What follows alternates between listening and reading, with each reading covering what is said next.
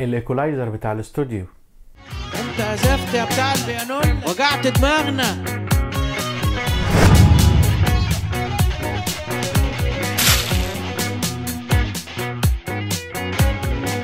أهلا بيكم في درس جديد من دروس هندسة الصوت. النهاردة هنتكلم عن موضوع من آه، المواضيع المهمة جدا في هندسة الصوت. آه، آه، فلتر من الفلاتر أو تأثير من التأثيرات الصوتية اللي بيستعملها مهندس الصوت عادة. واحد من أهم التأثيرات الصوتية اللي بيستعملها مهندس الصوت هو ال equalizer أو المعادل.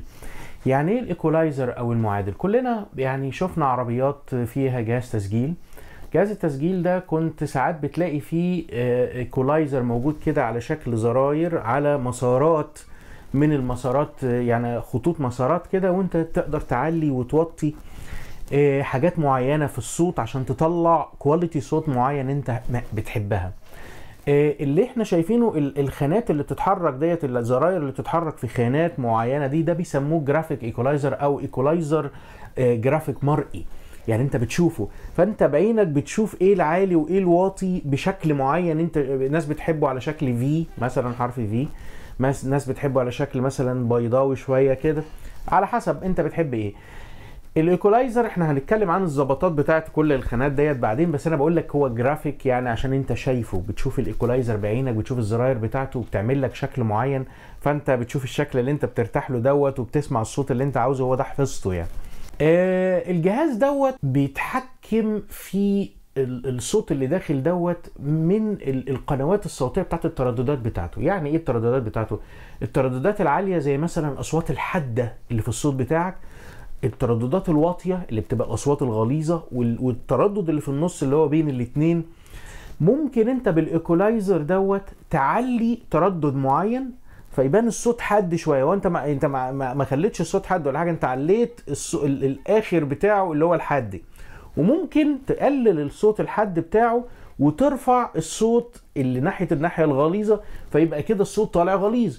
وممكن توطي الاثنين وترفع اللي في النص يبان لك الصوت كده أخنف شوية يعني طالع من المناخير يعني. واخد بالك؟ فبالتحكم بتاع القنوات ديت قناة قناة كل قناة بتتحكم في نوع معين من الترددات الصوتية. إحنا قلنا الترددات الصوتية بتتقاس بالهرتز أو الكيلو هرتز للآلافات يعني بتاعتها. فالترددات الواطية اللي يقدر جسم الإنسان يسمعها 20 هرتز. أوطى حاجة يقدر يسمعها الإنسان اللي هو هتلاقي يعني دبة نملة يعني 20 هرتز. وأكتر حاجة يقدر يسمعها الودن بتاع الإنسان من صوت صريخ بعد كده أنت مش هتقدر تسمع اللي هو 20 كيلو هرتز. ممكن الحيوانات تسمع حاجات من دي يعني الفئران بتسمع ترددات أعلى من الترددات اللي الإنسان بيسمعها. دي يسموها الألتراسونيك. ألتراسونيك يعني أعلى موجات فوق الصوتية اللي أنت ما تقدرش تجيبها بودنك. موجات فوق الصوتية ترددات زي اللي بيعملوا بيها الأشعة دي ترددات فوق صوتية انت مش بتسمعها بس هي الأشعة جابتها واتصورت على آه، الجسم الإنسان وفي جهاز تاني الناحية التانية بيلقط الترددات الصوتية ديت اما تخبط في في الأعضاء المعينة يطلع لك الصورة بتاعه العضو دوت لو كان في مثلا انسداد في شرايين بتاع اللي هي بيسموها الاشعاعات بتاعه الموجات فوق الصوتية الحاجات ما تقدرش تسمعها. بالنسبة للإيكولايزر انت كلمتنا ان مهندس الصوت محتاج الموضوع ده جدا. أيوه هل بيحتاجه مثلا يظبط ظبطه واحدة كل الناس خلاص تشتغل عليها ولا بي- بيظبط كل track ولا بيظبط ال mix في النهاية ولا بيظبط إيه بالظبط؟ لا هو كل track من التراكات ديت أنت ممكن تحسنه بإنك أنت تبرز جمال الطبقات بتاعته ال- المناسبة ليه. يعني مثلا لو أنت بتشغل track كمانجات مثلا track الكمانجات الكمانجات صوتها حد أساسا. فلو أنت زودت الحد قوي لدرجة إنها بقت مسرسعة هتبقى وحشة. ولو عليت ال bass بتاعها بحيث إن الكمان دي تبقى غليظة هيبقى صوتها وحش برضو فأنت بتدور على النقطة الحلوة اللي جوه الكمانجات اللي تقدر ترفع التردد الحلو اللي يبين صوتها ويبرز جمالها. والترددات اللي أنت مش عاوزها زي التزييق مثلا والحاجات ديت والبتاع ممكن الترددات بتاعتها تحاول تنزل التردد اللي بيبقى عليه الموجة الصوتية ديت فتقلل من تأثيرها شوية. طبعا لازم تستعمل كل ده بحكمة لأنك أنت يعني آه، كان زمان يقول لك آه، آه، علي يا أخي الحتة العالية بتاعت ال equalizer عشان ال- العربية تعمل تس تس تس الشباب كانوا بيمشوا بالعربيات زمان ويشغلوا الموسيقى اللي فيها إيقاع آه، وبالذات اللي فيه درامز فتلاقي ال- ال- النحاس بتاع ال- الدرامز نفسه اللي هو ال hi-hat اللي هو بيعمل صوت ده بيعلوا ال- الحتة العالية بتاعت ال equalizer عشان يبرز الصوت ده.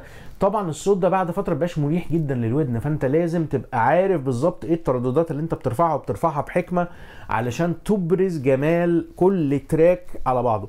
بعد كده أما بتركبهم على بعض أنت ممكن تلاقي في ال mix حاجة مش باينة قوي بسبب إن في حاجة تانية مغطية عليها بسبب العلو بتاع التردد بتاع الحاجة دي. فأنت بتبتدي توازن بين الترددات بتاعة الحاجات المختلفة ديت بحيث إنك أنت ما تخلش بال mix بتاعك وتطلع كل الآلات بتاعتك بارزة وواضحة زي ما أنت عاوز. في النهاية طبعا بيبقى في equalizer على الجميع إنك أنت خلاص ال track خلص. فأنت بتخرجه في صورته النهائية لو كان محتاج touch معين مثلا أو إبراز لحاجة معينة. بس لو أنت عملت كل الآلات آلة آلة والمجموع كله رضيت عنه ما بتحتاجش كتير في الآخر لموضوع ال equalizer دوت آه، يعني ككل يعني على كله إلا هتكون بوظت الدنيا. على الحاجات اللي انت عملتها قبل كده في كل track. فطبعا بين- بينتهي في النهاية ان بيبقى بس حاجات تاتشات بسيطة بس في النهاية في ال mix. فطبعا كل آه، في آلات مش يعني انت سجلت الآلة وصوتها طالع حلو مش محتاج equalizer خلاص. يعني انت مش مش عايز تبرز حاجة فيها أكتر من اللي هي طالعة فيه. مش شرط تع- تستعمل equalizer على كل track يعني. ولكن أنا بقول لك ال equalizer دوت تأثير صوتي معين متاح لمهندس الصوت بحيث يحسن أصوات الآلات المعينة دي ويبرز أجمل ما فيها ويخلي المجموع كله متناسق مع بعضه. في أصوات غليظة زي ال bass drum مثلا زي جيتار ال bass وفي أصوات حادة زي الكمانجات والفلوت والجيتارات ساعات. وفي جيتارات بين البنين بيبقى ساعات الجيتارات في النص بين البنين وصوت المطرب نفسه بين البنين. في حاجات حادة فيه في حاجات غليظة فيه. آه، أصعب equalizer تقدر تقول عليه equalizer صوت المطرب. ليه؟ لأن أصواتنا كلنا مختلفة كل واحد صوته مختلف. أنا مثلا ده صوت ال- الح- ال- الحد الطبقه الحاده في صوته أحلى من طبقاته الغليظة. فأنت بتبرز الطبقات ديت وفي ساعات الطبقات الحاده بتبقى أضعف فبتبتدي تعليها شوية عشان توازن ما بين الطبقات الحاده والطبقات الغليظة. آه، ال equalizer ملوش آم، مفيش حاجة اسمها تتحفظ يعني حاجة محفوظة كده تروح حاططها وتعمل كده صح وكده غلط. كل حاجة بتتعمل بودنك بتسمع بنفسك وتقيم.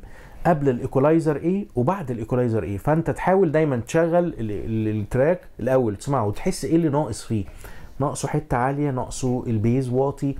تشوف إيه اللي ناقص فيه وتبتدي تعادل الموضوع وتوزن. وبعد كده بعد ما تخلص ال equalizer وظبطته وحسيت إن الصوت كويس بزرار واحد بتطفي ال equalizer وتسمع وزرار واحد تعليه وتسمع ف... ف... فتقدر تسمع ما قبل وما بعد فتقدر تحكم اللي أنت عملته دوت كان حلو ولا لأ. طيب نروح بقى على ال software بتاع الكمبيوتر علشان نشوف إيه اللي بيحصل بال equalizer. فتحنا برنامج الاستوديو بتاعي اللي أنا بشتغل عليه ودلوقتي في track أنا سجلته للجيتار. نسمع ال track بتاع الجيتار ده من قبل ما نحط ال equalizer عليه.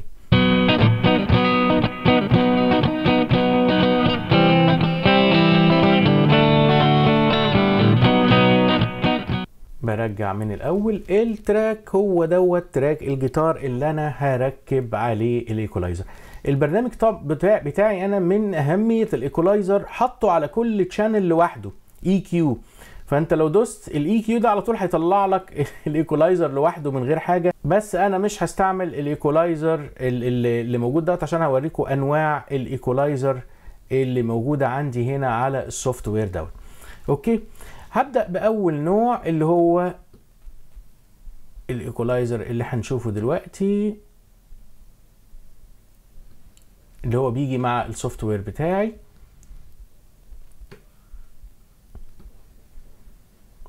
طيب أما نشغل المقطوعة لحته الجيتار ديت ونسمع شايف ال... ال- الصوت متحلل عندي إن أنا عندي خالص طبقه حاده هنا. وعندي أغلبه في النص هنا. طيب نجرب كده.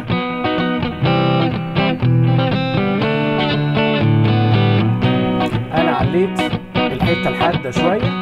هنزل النقطه بتاعت الحتة هي الصوت اللي في الوسط دوت عشان الصوت طالع مخنف شوية. وهزود البيس شوية بتاعه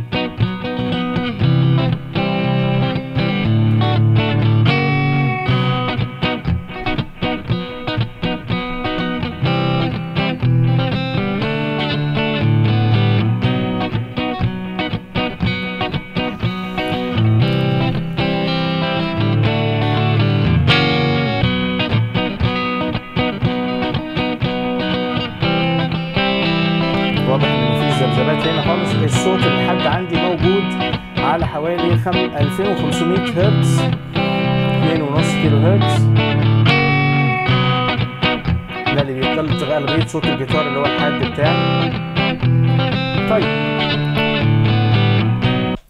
اللي هيحصل دلوقتي ان أنا ارجع تاني ال track من اول حتة اللي أنا هشغلها وهشغل ال equalizer اللي أنا عملته ظبطت شوية عليت شوية الحته بتاعت من 2 ل 5 كيلو هرتز عليتها سنه صغيره الحتة من 200 ل 500 دي لغاية 1 كيلو هرتز نزلتها شوية لتحت ليه؟ لأن ديت الحتة اللي فيها ال ال ال الصوت يعني كأنه بيطلع في كوز مثلا أو أو مناخيري شوية والحتة ال bass شوية رفعت الحتة بتاعت ال bass ديت هنا عشان يجيب لي شوية من صوت الجيتار bass فيبقى فيه توازن ما بين ال bass وال treble طب أنا هطفي ال equalizer وهشغل ال track ده ال track في الأول كان عامل كده. بص لما هفتح بقى.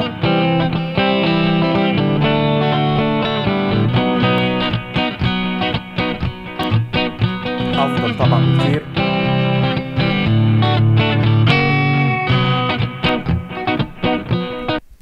ده واحد من ال equalizer ات اللي موجود عندي. طبعا ده متقدم شوية وهو بيجي أساسا مع ال software.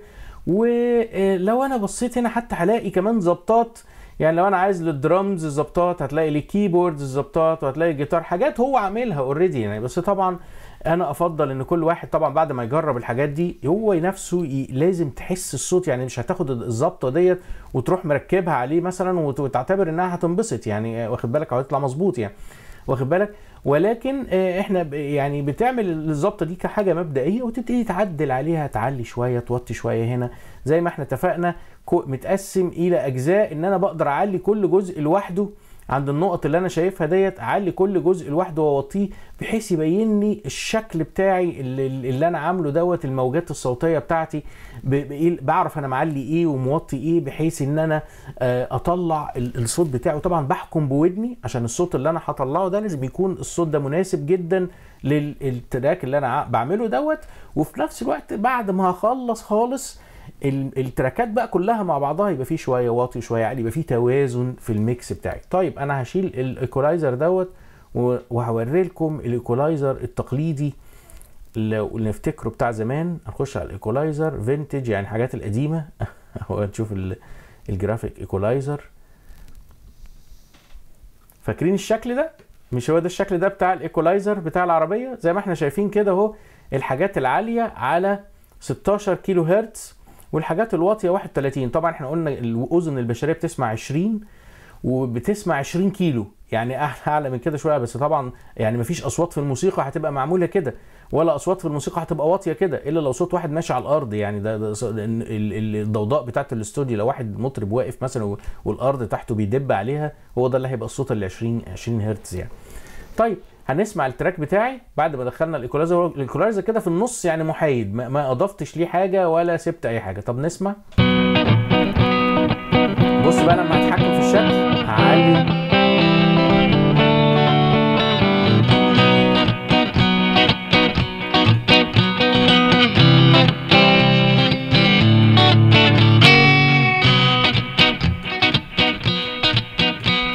الصوت هنا بقى حد مسلوخ خالص ما فيهوش تقريبا بيس خالص يعني. خد بالك لأن أنا وطيت.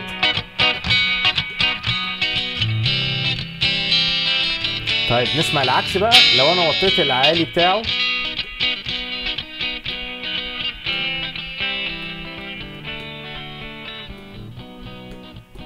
وهعلي.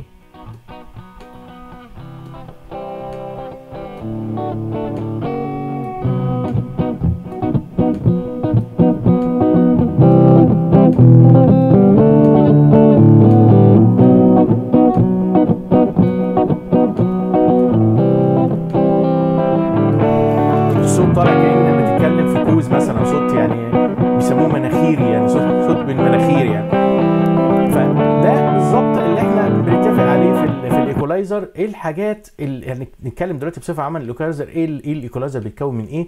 زي ما إحنا اتفقنا الاصوات إحنا هنرجع كله تاني زي على ال zero زي ما قلنا زي ما قلنا كده عشان نشرح كل حاجة على حدة. دي القنوات بتاعه الترددات الصوتية. كل صوت بيتكون من عدة ترددات بت- بتختلف من صوت لصوت. الاصوات الحادة مثلا زي الفلوت والكمان بتبقى في الطبقات العالية. الاصوات الجيتارات بتبقى تقريبا في العالية للنص. الاصوات جيتار ال bass وال bass drum بيبقوا في الحتة ديت. فانت عندك الصوت اللي انت بتعزفه بتبتدي تعلي وتوطي كل قناة من القنوات دي لغاية ما تكتشف الجمال اللي في الصوت فين اللي بيخلي الصوت أحلى. واخد بالك؟ يعني عادة انت بتشغل ال track بتاعك وتروح موطي channel مثلا وتشوف تأثيرها إيه على الجيتار مثلا.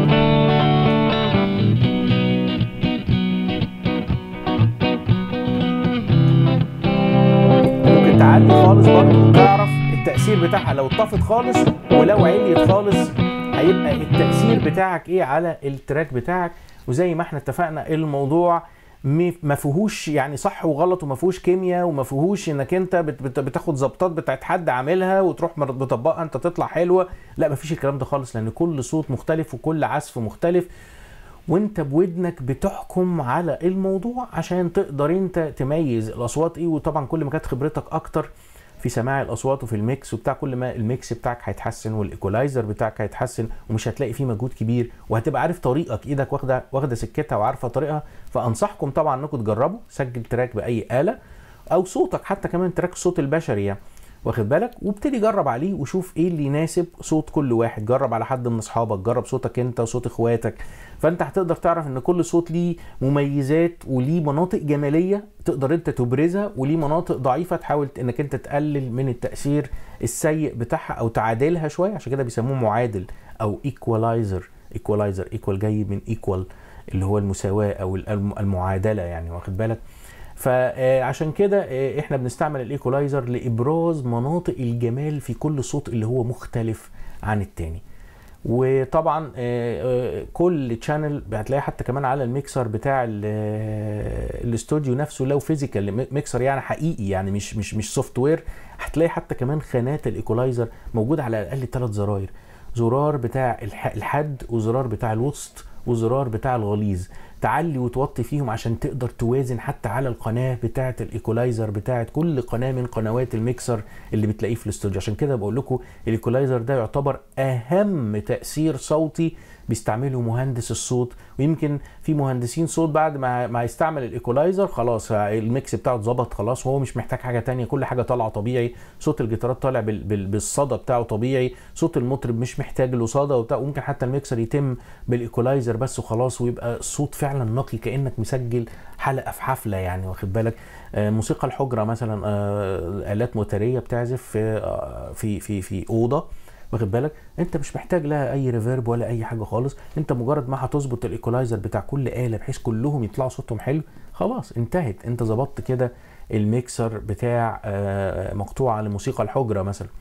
فالايكولايزر زي ما إحنا شرحنا كده من أهم الإفكتات أو التأثيرات الصوتية اللي بيستعملها مهندس الصوت.